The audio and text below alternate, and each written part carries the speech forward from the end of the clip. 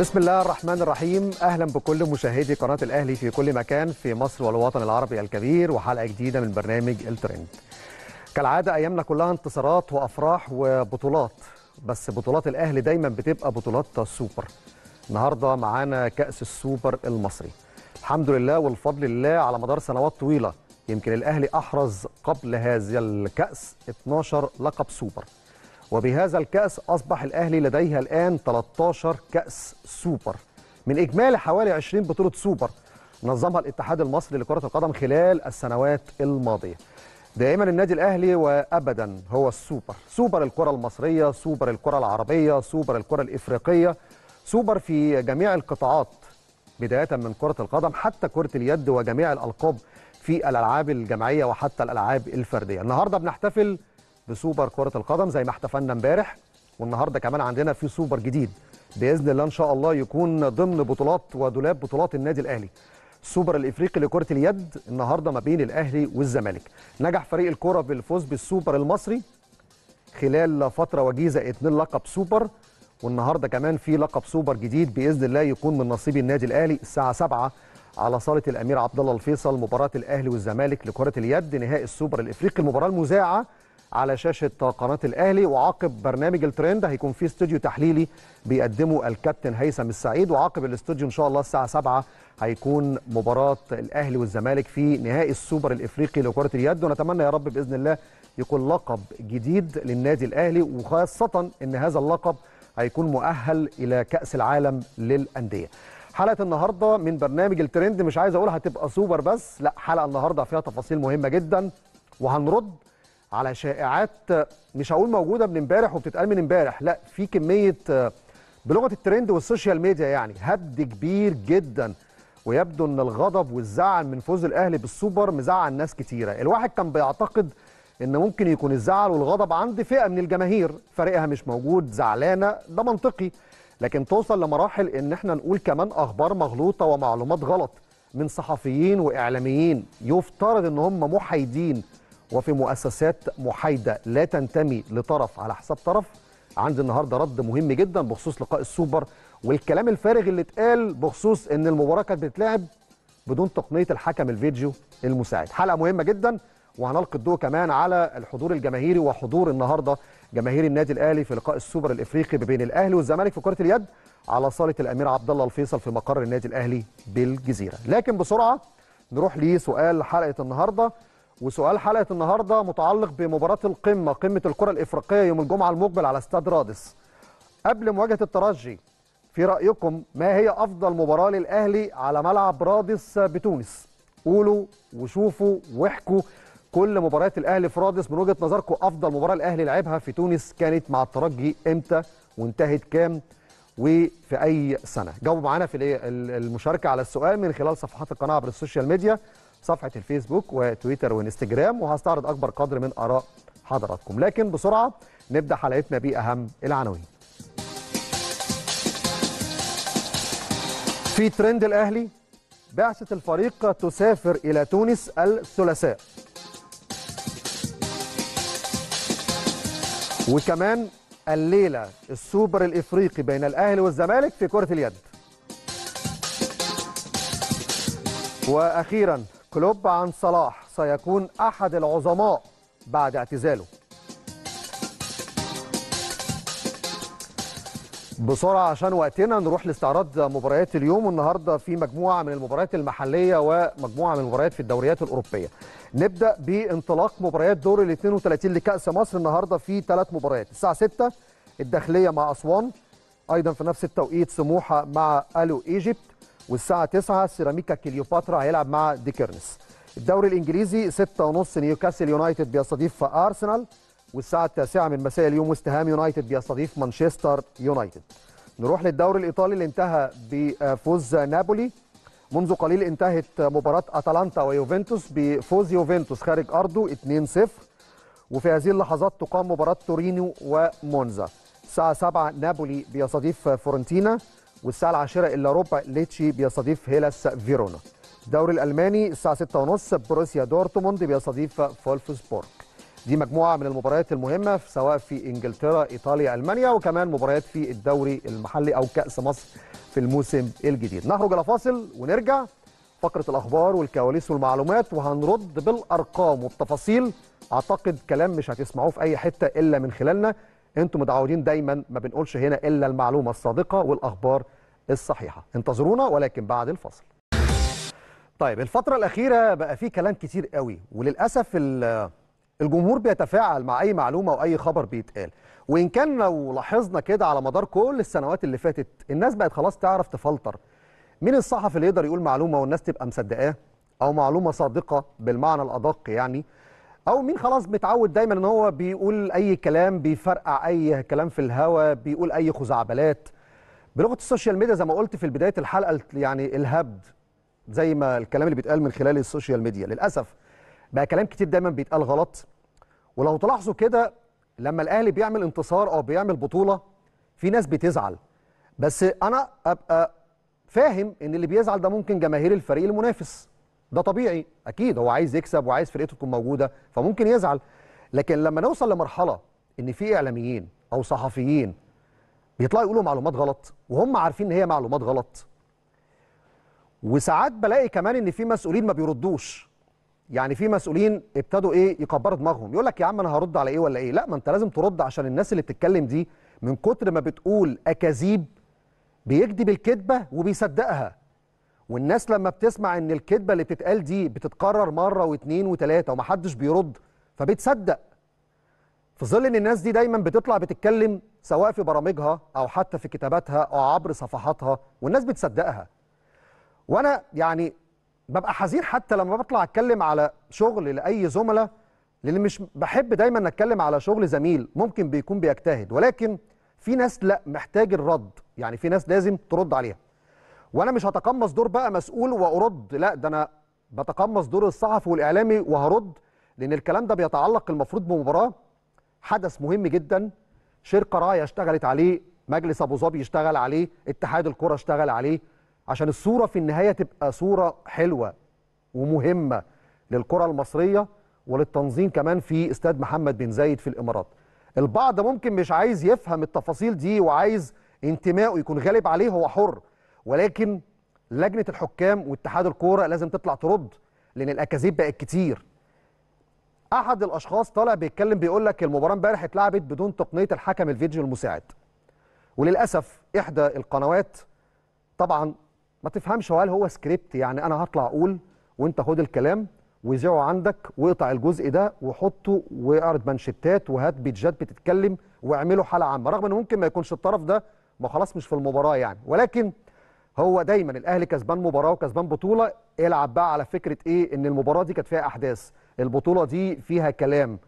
ما يدكش فرصة إنك تقول كسبت مباراة بعرقك وجهدك. لا هو الكلام ده دايما متعودين عليه من 30 40 سنة. دايما متعودين على كده.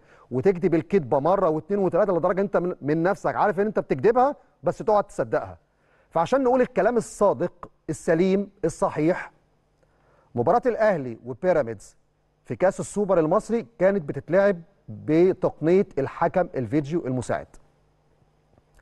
والتقنية كانت موجودة ب 20 كاميرا. 20 كاميرا. غرفة الفار كانت بتتعامل مع تقنية الحكم الفيديو المساعد ومن خلال بث المباراة للتقنية فقط من 20 كاميرا. الحكم الإماراتي اللي كان موجود في غرفة الفار كان بيتعامل مع 20 كادر. 20 كادر من خلال زوايا الكاميرات اللي موجوده في الملعب متوصلة لتقنية الفار. عارفين يعني إيه 20 كاميرا؟ أنت هنا في الدوري المصري ممكن تصور ب 8 ب 12 يوم ما بتعمل حاجة كبيرة اهله زي ما بتقول 16 كاميرا. لا المباراة دي بس للفار لوحده كان فيه 20 كاميرا. عايزني أتجاهل رقم 20 كاميرا وأقول لك الفار مش شغال؟ يبقى أنت راجل طالع تهجص بالبلدي كده. طب خدوا بقى المفاجأة الثانية أنتوا عارفين تقنية الفار كانت بتتصور بتقنية إيه؟ ال 8K مش هقول لك ال HD ولا ال full HD ولا ال 4K لا ال 8K أحدث تقنية فار وأحدث كاميرات كانت موجودة في مباراة الأهلي وبيراميدز. هل تقنية الفيديو كانت بتتعاون مع طاقم التحكيم وحكم المباراة كابتن محمود البنا؟ آه حصلت. وحصلت في كذا لعبة. ومن مصادري وأنا واثق من الكلام ده لأن خدوا بالكم أي مباراة بتقنية الحكم الفيديو المساعد بتتسجل وبتتبعت للأيفاب. ما ينفعش بقى يطلع صحفي يقول لك إيه المباراه بدون تقنية الفار. يا مش هقول يا باشمهندس يا أستاذ المباراة بتتلعب بتقنية الفار ومعلنه بتتلعب بتقنية الفار. ما ينفعش تطلع تقول بدون تقنية الفار والفرقتين مش عارفين وما بلغتش الأيفاب وأنت مبلغه من البداية إن في مباراة بتقنية الفار. ليها ترتيبات وإجراءات أنتوا مش عارفينها. عشان أنتوا لا بتقروا ولا عايزين تعرفوا معلومة ودايما بتشتغلوا على فكرة الكذب الكذب الكذب لغاية لما الناس تصدق الكذبة. يعني المباراه ب 20 كاميرا تقنية الفار لوحدها ب 20 كاميرا. التقنية بيتم استخدامها من خلال ال 8K يعني الكاميرات اللي في الملعب والنقل التلفزيوني. ده الاتحاد الأفريقي بيقول لك full HD ما بيقولش ال 4K مباراة السوبر كانت ب 8K تخيل. طيب هل الحكام الإماراتيين اللي كانوا في تقنية الفيديو كانوا بيتعاملوا كان في حوار وحديث مع الكابتن محمود البنا آه كان في وكان في لعبة واثنين وثلاثه بس أنتوا عشان متعودين على العك اللي كان موجود خلال السنتين اللي فاتوا إن تقنية الفار كانت بتستخدم بشكل خاطئ. فكانت أي لعبة هات الحكم. أي لعبة هات الحكم. حكام ما عندهمش خبرة هات الحكم. لكن المباراة دي لا. كان في حديث متواصل ما بين غرفة تقنية الفيديو مع حكم المباراة. الفيصل بيني وبين أي حد بيقول الكلام العكس ده اطلع اثبت إن المباراة بدون تقنية الفار. أنا رديت بأرقام وبمعلومات. لأول مرة الناس تعرف إن المباراة كانت بتتلعب بتقنية الفار ب 20 كاميرا. لأول مرة الناس تعرف إن تقنية الفيديو الحكم الفيديو المساعد من خلال كاميرات العربيه الفار كانت تقنية 8K مش 4K ولا full HD هل تم تواصل؟ وكان في محادثات ما بين حكم التقنية مع حكم المباراه آه كانت في مرة واثنين وثلاثة. فبلاش يا جماعة فكرة دايما إن انت تتكلموا على مباراة السوبر بأحداثها. لأن أنتوا قبل المباراة خدتوا الناس في سكة إن في مظلومية والايام أثبتت إن ما كانش في حاجة غلط. بالعكس كانت بتطبق اللوائح والقوانين. بعد المباراة خلاص بقى الكلام الأولاني على فكرة أصل لجنة الانضباط أصل لجنة الاستئناف أصل اللي حصل ده فيه ظلم خلاص بقى كلام استهلاك محلي مش هيفيد. لا شوف نظرية جديدة. فاطلع بقى كل واحد يعمل بث مباشر من على صفحته. لو ما عندوش برنامج أو يكتب في الموقع اللي شغال فيه أو يطلع في البرنامج اللي بيطلع من خلاله واطلع وقول بقى يا سيدي أصل كان في ظلم أصل الاتحاد الكورة طلب إن المباراة تتلعب بدون تقنية الحكم الفيديو المساعد. أنا والله بسمع الكلام ده بقيت مش هقول زعلان بس بقيت حزين على الحالة اللي وصل ليها البعض. مش هقول الكل البعض. اللي بيحاولوا دايما يصدروا صورة سلبية عن الرياضة المصرية والكرة المصرية بالشكل ده وفي الإطار ده. اتحاد الكرة هيقول للناس ما تلعبوش بتقنية الفيديو. طب ليه؟ إيه اللي يجبره على كده يعني؟ إيه الفكرة في كده؟ يعني إيه الفكرة إنك اتحاد كوره يقول للناس في الإمارات لا العبوا المباراة بدون, بدون تقنية الفيديو. يا جماعة ما تضحكوش الناس علينا. عيب الكلام ده يتقال عشان تثبت بس إن بيراميدز اتظلم أو المباراة كانت فيها حاجة غلط أو امسك يا أخي ده في خناقة هنا. ده في مشكلة هنا. ده في لجنة انضباط هتنعقد أي كلام بيتقال من بعد المباراة. إحنا مش هنسكت. أنا قلت من بداية السيزون بداية الموسم ده أنا مش هسكت على أي معلومة بتتقال غلط. ايا كانت لو طالعه منين. ايا كانت لو طالعه منين. كل الأخبار اللي بتتقال دايما للأسف بتبقى غلط. يعني لو في خبر صح بنحاول نثبت إن هو مثلا إيه في تفاصيل فيه حتى غلط لا ده الخبر كله بيبقى من أوله لآخره غلط. وللأسف ما بتبقاش الفكرة إن هو اجتهاد ومعلومة قد تصح أو قد تكون خطأ. لا ده للأسف بتبقى الهدف منها حاجة تانية خالص. إنك تلعب في فكرة إن البطولة دي الأهلي خدها بالظلم إن الأهلي كسب كسب البطولة دي وفي ظلم للفريق المنافس إن المنافس اللي كان هيجي يلعب اتظلم عشان الأهلي يلعب البطولة. يعني هو الأهلي محتاج بطولة زيادة مثلا مع الأهلي عنده 12 بطولة. اللي محتاج بطولة هنقول اللي حصل السنة اللي فاتت والسنة اللي قبل اللي فاتت واللي حصل في تقنية الفار واللي حصل في تعيينات الحكام. ما علينا. أنا أتمنى إن المفروض اللي يطلع يرد ويقول الكلام ده لأن هو عنده بقى ما يثبت كلامي أنا اللي أنا بقوله رسمي لجنة الحكام. وكل مرة يطلع حد من لجنة الحكام يقول لك إيه؟ ذكر متحدث رسمي أو قال متحدث رسمي من لجنة الحكام رفض الكشف عن هويته. ما تقول يا عم أنت متحدث رسمي اطلع اتكلم بنفسك. يعني الكلام اللي أنا قلته أنا عارف إن هو عندك وعندك ما يثبت بتفاصيل أكتر من اللي أنا قلتها لأن أنت في المطبخ وأنت المتحدث الرسمي. بس في متحدث رسمي يرفض الكشف عن هويته؟ إزاي يعني؟ ما يبقاش متحدث رسمي. اطلع يا كابتن توفيق اتكلم. يا كابتن توفيق السيد بعد إذنك أي أخبار بتتقال غلط بالشكل ده؟ يعني ما تحطش مجال للصحوبية مع عدد من الصحفيين والإعلاميين. اركنها شوية على جنب واطلع رد على التفاصيل دي لأن انت المفروض مدير لجنة حكام. انت المتحدث الرسمي. لما تطلع تتكلم ما تقولش رفض ذكر اسمه. اطلع اتكلم بنفسك. أي زميل لو انت صديقه بشكل شخصي لو سمعك وانت بتتكلم وبترد لأن انت متحدث رسمي ومدير لجنة مش هيقدر يقول الأكاذيب دي تاني. اطلع رد على الأكاذيب دي لأن ده على فكرة عيب في حقكم أنتوا قبل ما يكون عيب في الفريق المنافس أو الفريق اللي فاز بالبطولة. أنتوا المعنيين بالأمر. فإحنا من قدر الإمكان بنحاول نجتهد ونوصل لمعلومات. وتواصلت مع مصادر والحمد لله دايما الناس بتثق إن المصادر اللي بتواصل معاها بتديني معلومات موثقة ومؤكدة. وأنا لما سألت على تقنية الحكم الفيديو المساعد مش سألت إن التقنية موجودة ولا مش موجودة لا كنت عايز أعرف. كام كاميرا متوصلة بعربية الفار؟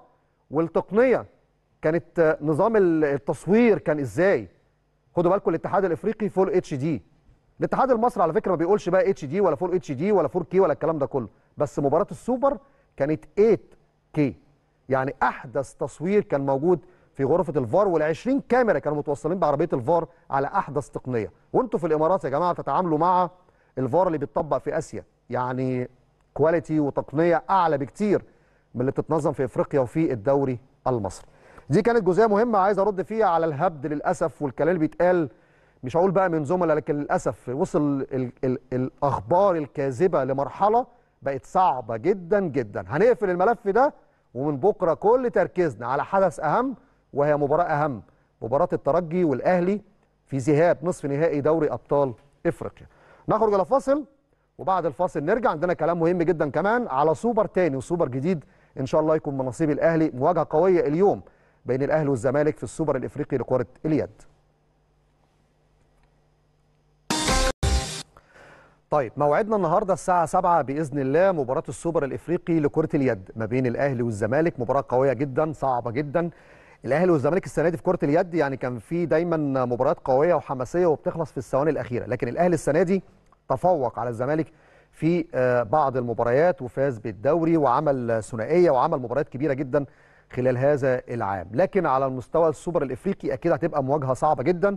الأهلي بينظم هذه البطولة على صاله الأمير عبد الله الفيصل. كان من المفترض الأهلي يواجه الترجي التونسي ولكن الترجي في اللحظات الأخيرة اعتذر ولم يحضر إلى القاهرة لخوض هذه المباراة وبالتالي الأهلي تأهل إلى المباراة النهائية وبالامس الزمالك فاز على بطل الكونغو وواجه الاهلي أو هيواجه الاهلي اليوم النهارده الساعة 7 مزيدا من التفاصيل والحديث عن الأجواء الجماهيرية خاصة في ظل حضور النهارده ألف مشجع لهذه المباراة نروح ونطير مباشرة إلى مقر النادي الأهلي بالجزيرة ومن أمام صالة الأمير عبد الله الفيصل اللي هتستضيف المباراة معانا على الهواء مباشرة الزميل العزيز محمد توفيق موفد قناة الأهلي. محمد مساء الفل عليك وأخبارك والأجواء والجديد عندك من مقر النادي الأهلي بالجزيرة. مساء الخير زميل العزيز محمد تحياتي ليك ولكل مشاهدي قناة النادي الأهلي في كل مكان. زي ما أنت قلت دايما في قناة النادي الأهلي وجوه النادي الأهلي مع موعد دايما مع البطولات. والنهاردة بطولة مهمة جدا وهي بطولة كأس السوبر الأفريقي لكرة اليد. واللي ابتدت أهميتها محمد إن الفائز باللقب بيشارك في كأس العالم للأندية أو زي ما بنقول كده ال Super Globe. الكأس العالم للأندية لكرة اليد يمكن النادي الأهلي بيخش مباراة اليوم وهو حامل اللقب بعد الفوز أيضا على الزمالك العام الماضي في النيجر. يمكن النادي الأهلي تأهل من بعدها لل Super Globe أو كأس العالم للأندية في السعودية ويمكن أدى أكثر من رائع. ويمكن عمل نتائج رائعة جدا وفاز على فرق كبيرة جدا من أوروبا إن شاء الله. النادي الأهلي يكرر إنجاز هذا العام ويحافظ على لقبه للعام الثاني على التوالي وبإذن الله يصعد مجددا لكأس العالم للأندية لكرة يد خاصة محمد النادي الأهلي بيخش المرة دي وهو يعني بطل الثنائية المحلية سواء الدوري أو الكاس زي ما أنت قلت على حساب نادي الزمالك. كمان البطولة بتقام هذا العام على صالة الأمير عبد الله الفيصل هنا داخل النادي الأهلي بمقره الرئيسي بالجزيرة. يمكن زي ما أنت قلت الجهات الأمنية بالتعاون مع النادي الأهلي تم الموافقة بالأمس على حضور 1000 مشجع. يمكن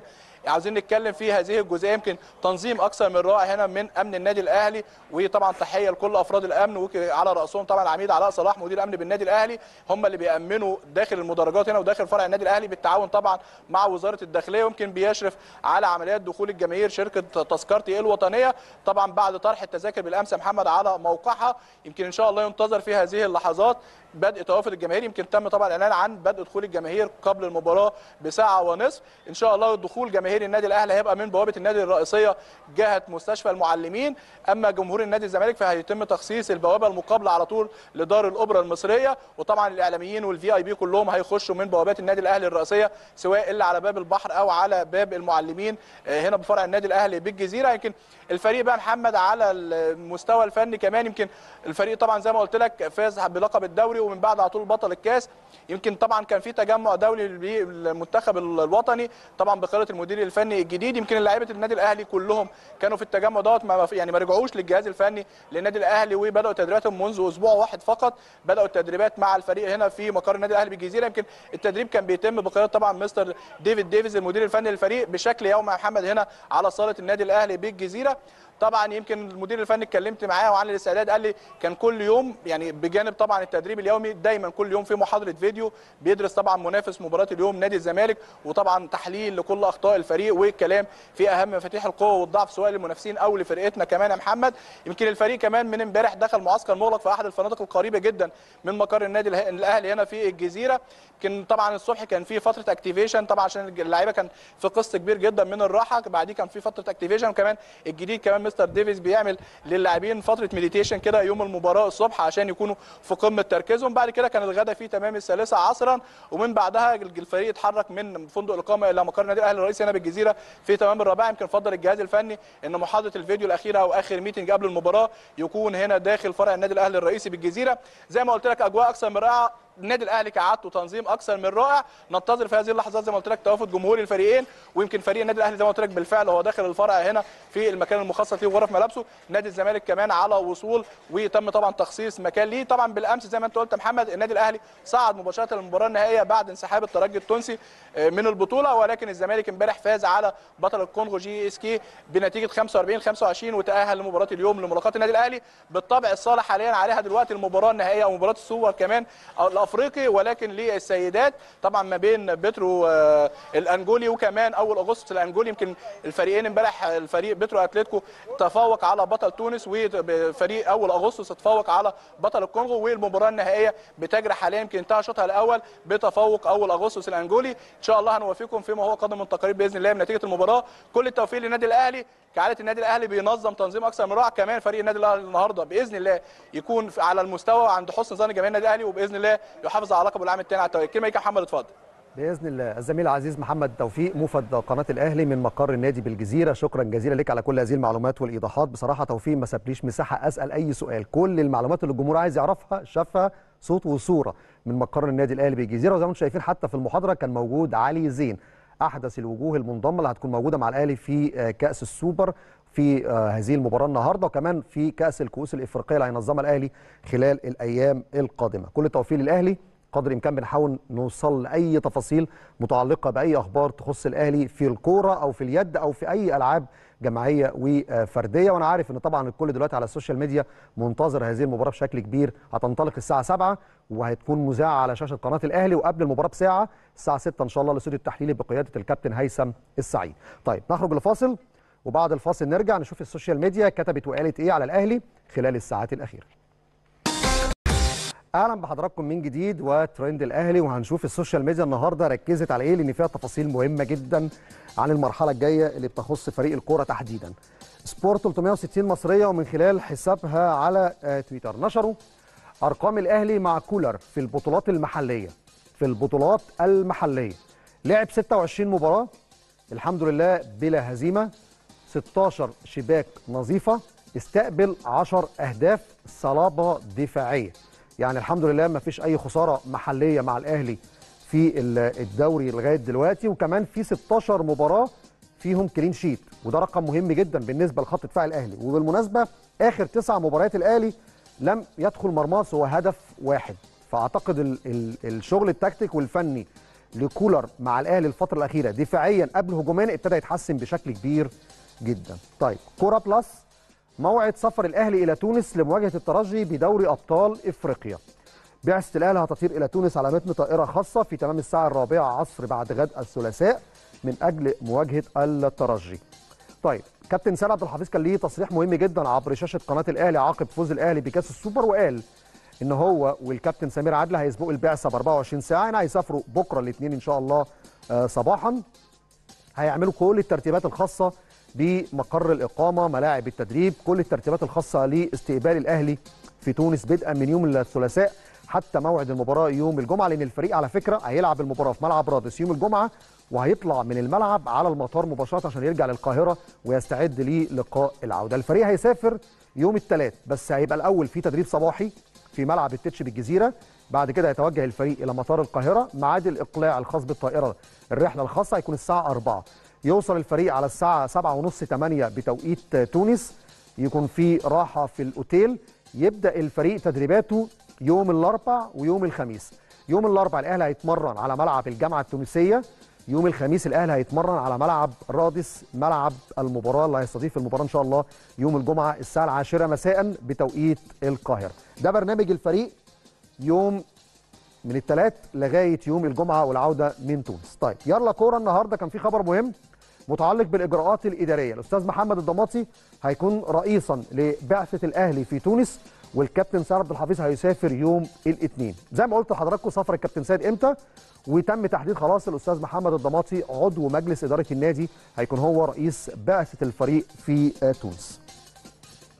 طيب يلا كورة النهارده. اهتم جدا بالديربي اللي هيتلعب يعني بعد أقل من حوالي ساعة إلا ربع ما بين الترجي والإفريقي في الدوري التونسي. عاجل قبل استضافة الأهلي. وده كان النهارده خبر منشور في كل المواقع التونسية.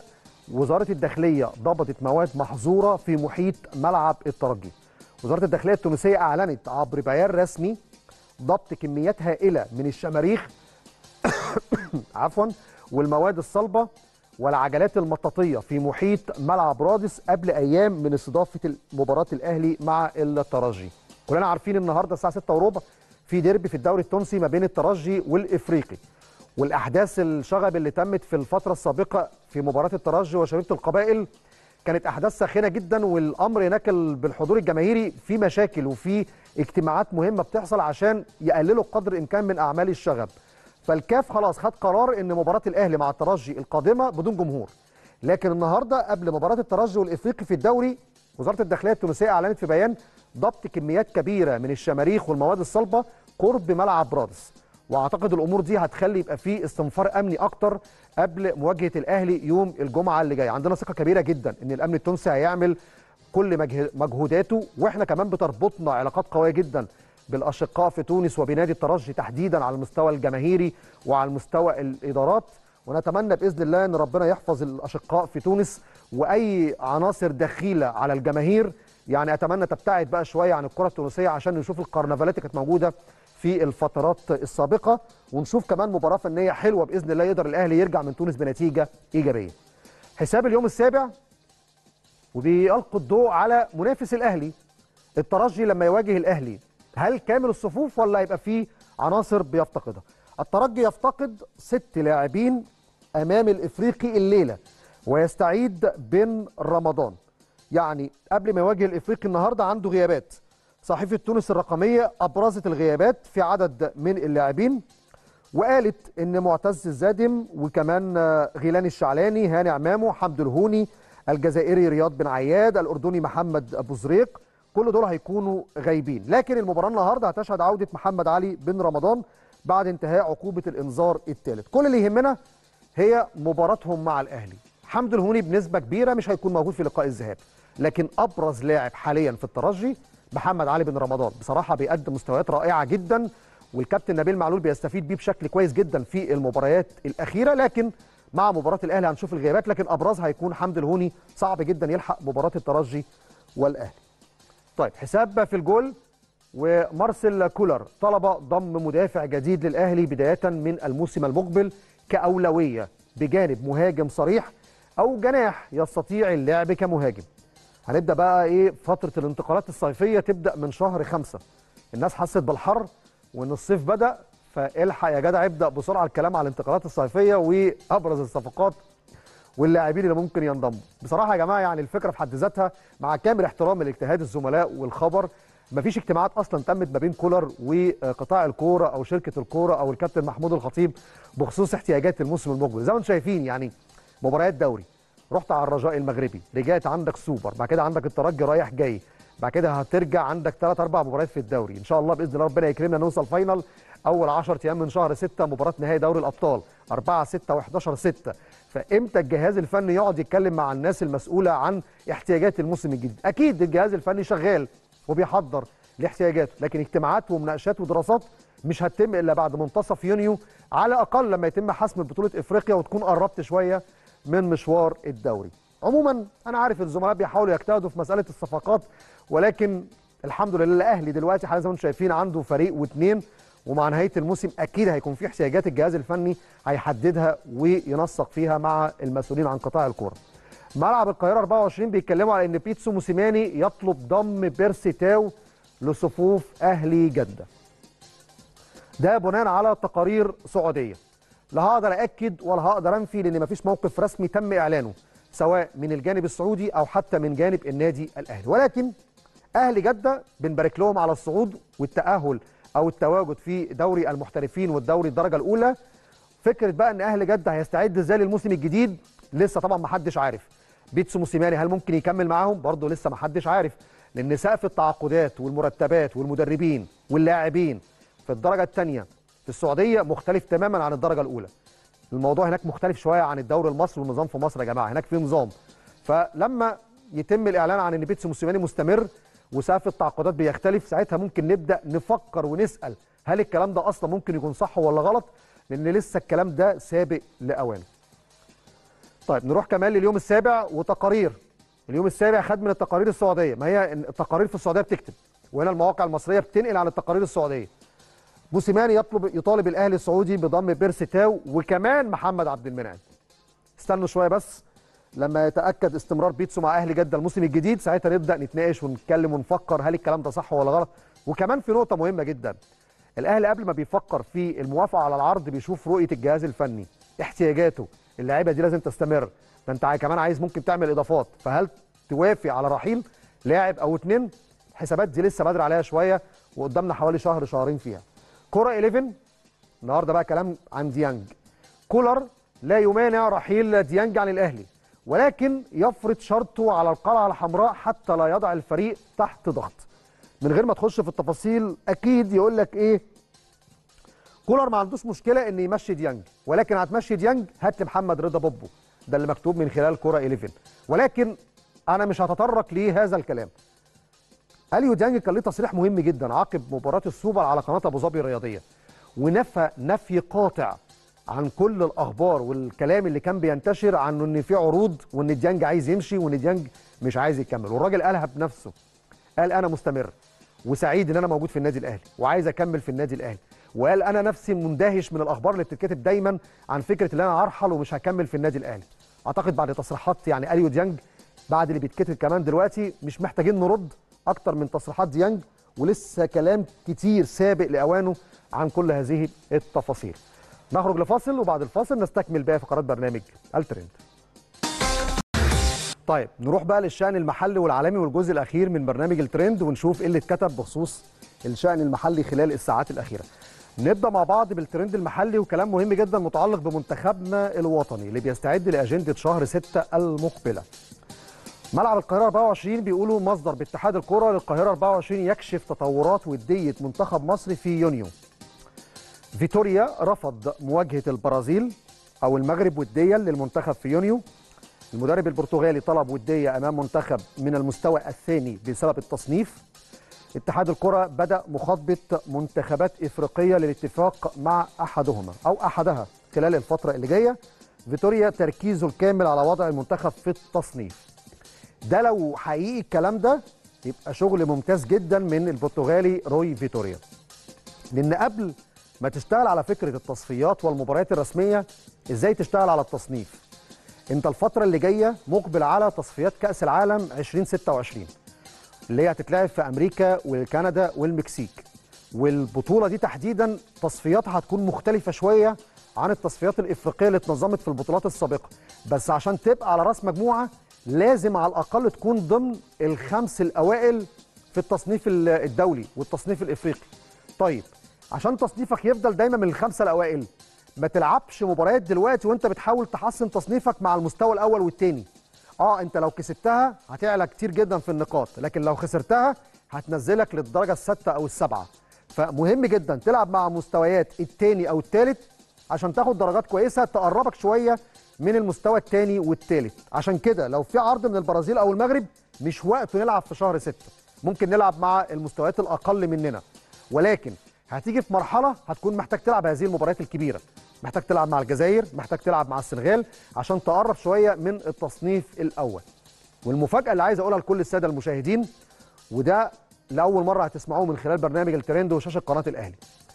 كأس الأمم الإفريقية 2025 هتكون حجر زاوية مهم جدا في التصفيات المؤهلة لكأس العالم أمريكا كندا المكسيك 2026 لأن الاتحاد الإفريقي مش لاقي وقت مناسب لتصفيات إفريقيا المؤهلة لكأس العالم. فممكن يعمل كأس أمم إفريقيا 2025 هي المؤهلة لكأس العالم 2026 أنت عندك كأس أمم في يناير اللي جاي في الكوت ديفوار 2024 بعد ما تخلصها هيكون عندك تصفيات لكأس الأمم 2025 هتلعب إمتى تصفيات كأس العالم؟ في ظل إن العدد المنتخبات زاد فأفريقيا على الأقل هيكون فيها تسع منتخبات. فالكلام الوارد يعني من المصادر في الاتحاد الإفريقي إن كأس الأمم 2025 هي اللي هتكون مؤهلة لكأس العالم 2026 فمهم جدا تحافظ على تصنيفك حتى عام على الأقل.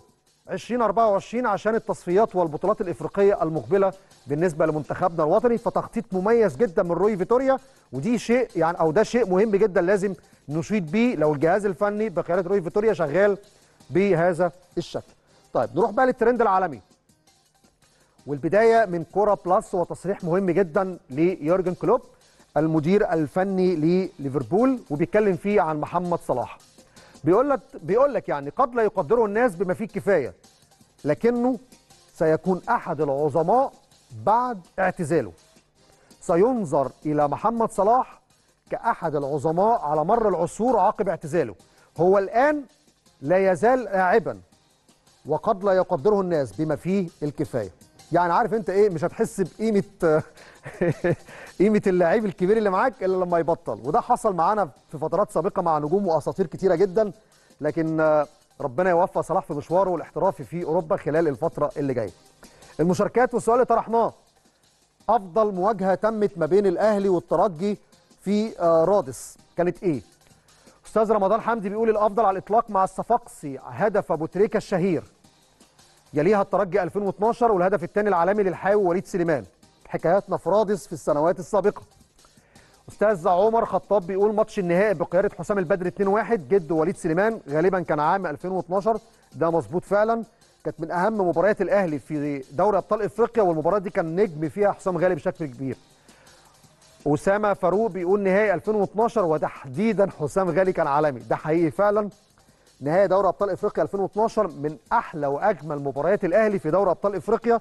ووقتها حقيقي الكابتن حسام البدري عمل مباراة عظيمة وكان نجم المباراة الكابتن حسام غالي نجم النادي الأهلي والأهلي فاز على الترجي في تونس وفاز بدوري أبطال إفريقيا ووقتها كان بيدرب الترجي الكابتن نبيل معلول. في الختام بنشكر حضراتكم بالتأكيد على حسن المتابعة والمشاهدة وغدا بإذن الله حلقة جديدة من برنامج الترند شكرا وإلى اللقاء.